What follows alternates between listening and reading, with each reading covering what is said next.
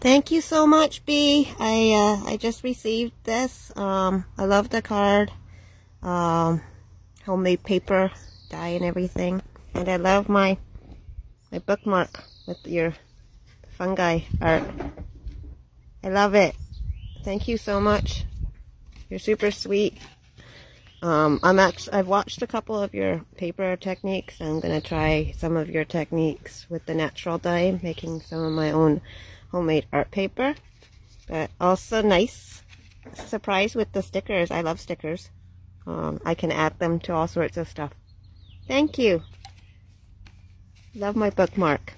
And thanks for the watercolor care too. The bookmark is so lovely. I love your art. Keep it up. And uh, look forward to more of your outdoor foraging videos. Your videos are super cute. Uh, if you're not already following my friend B Astra, please do. She does amazing art and just a wonderful person. At B Astra on TikTok. Go ahead, give her a follow.